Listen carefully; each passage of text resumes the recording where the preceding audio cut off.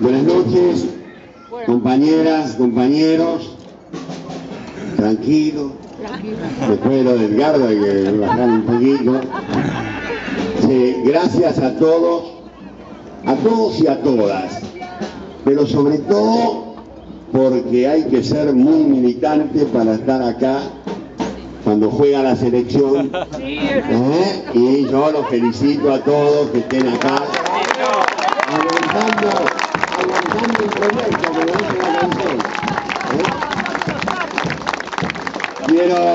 Quiero, también agradecer, hablando de los trapos, quiero agradecer a todas las organizaciones, a las que tienen, como dijo Rodolfo, a las que tienen candidatos y a los que no tienen candidatos, a los que empezaron hace mucho tiempo y a los que empezaron ayer, pero que todos están sumando a la defensa a este momento histórico que vive el movimiento nacional y popular. Y no me las pongo a nombrar porque seguro me voy a comer a una y esa me va a putear largo. Entonces, compañeros y compañeras, a todos los trapos, a todas las organizaciones, a todos los candidatos, el apoyo incondicional de todo el proyecto nacional y popular. Porque acá, acá nosotros, acá nosotros, no estamos como un caso individual.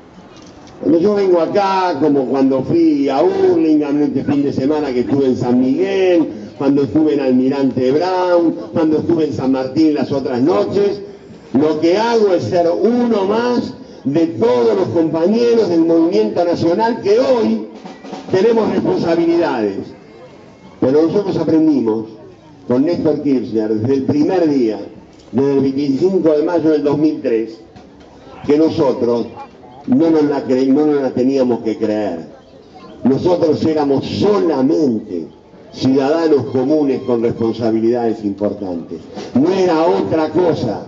Lo que teníamos que nosotros dar cuenta todos los días era de ese hecho, de que éramos capaces de honrar un mandato que había recibido Néstor Kirchner y que lo definió tan bien en su discurso inaugural, cuando dijo, por mandato popular, por decisión política y por comprensión histórica, este es el tiempo del cambio.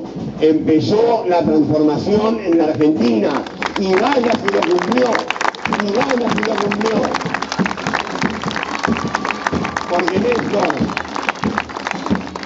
Néstor ese día, mejor dicho, a los dos o tres días, cuando fui por primera vez al despacho de él para ver cómo íbamos a ir encarándola, el gobierno, cuando terminamos eso, cuando terminamos eso, esa reunión, me agarra Néstor, vamos caminando hacia la puerta y me dice, yo lo que te pido, lo que te pido de verdad es que todos los días hagas algo pequeño, chiquito, un poco más grande, una firma, una acción, una medida, siempre algo, todos los días algo, para que nuestro pueblo viva un poquito mejor, un poquito más feliz.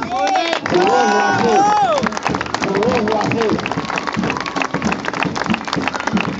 si vos lo haces, si lo haces todos los días, vas a ver que dentro de dos o tres años nos vamos a juntar, vamos a mirar para atrás y nos vamos a encontrar a esa Argentina más parecida a la Argentina que siempre soñamos, a una Argentina que Néstor venía soñando desde 1970, con tantos otros compañeros, muchos de ellos están acá, porque muchos de ellos somos nosotros, los argentinos y las argentinas, que pensábamos que alguna vez la Argentina podía ser una Argentina más igual, una Argentina más justa, una Argentina más soberana, una Argentina más libre, una Argentina donde todos pudiéramos tener todos los días un poco más de derechos. Por eso, por eso hoy acá, en este momento, anónimamente, colectivamente, soy uno más que junto con ustedes está cumpliendo ese mandato de Néstor, haciendo algo que tiene que ver con el futuro de la patria, que tiene que ver con que podamos vivir todos un poquito mejor, porque la puta que ha cambiado la vida. Yo tiene razón lo que decía Rodolfo, no, no hablemos de esto, no hablemos de esto. Habló de todas las cosas que quería hablar yo, ya no puedo hablar de esto. Entonces, no hablamos de eso. Hablemos de otra cosa. Hablemos de lo que falta. Hablemos, hablemos de lo que nos quieren sacar. Hablemos de sacarle la careta. La careta a los más, a los cariñinos.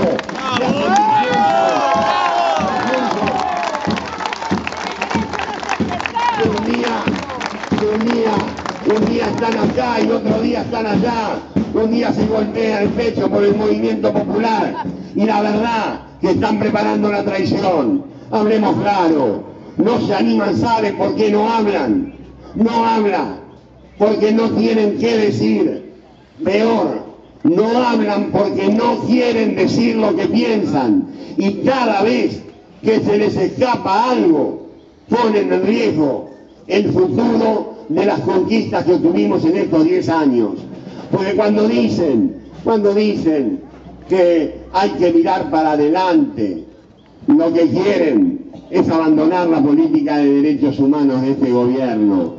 Cuando dicen hay que bajar el gasto público, quieren decir terminar con la asignación universal por hijo, con la construcción de cloacas, con la recuperación del agua para todos, todo esto que le está cambiando la vida a los argentinos todos los días, aunque no lo veamos y aunque sepamos que falta mucho, porque claro que falta mucho. ¿Ustedes se creen que nosotros vamos a dar vuelta en 10 años lo que destruyeron desde 1955 en adelante? Pero la diferencia, la diferencia, compañeros, y eso está en nuestras manos, en nuestras manos, es que aquella experiencia del 55 fue derrocada y derrotada, como fue derrocada y derrotada la Hipólito Yrigoyen, que fue otro momento del movimiento nacional y popular. Pero ¿saben qué? La tercera es la vencida. A nosotros no nos van a derrotar ni derrotar.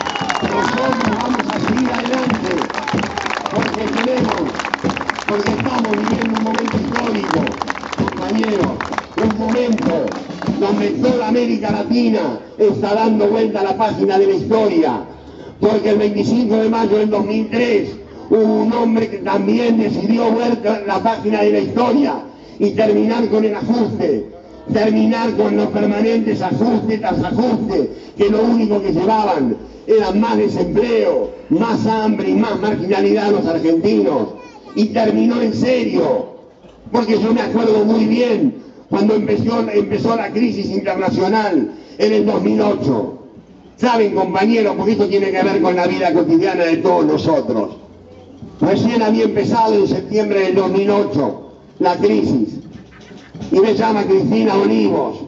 Y yo la verdad, acostumbrado como todo argentino, a saber que cuando había una crisis, inmediatamente venía el ajuste, inmediatamente venían los despidos, inmediatamente venía la pérdida de todo lo que teníamos, lo poquito que habíamos recuperado, llegó Olivos.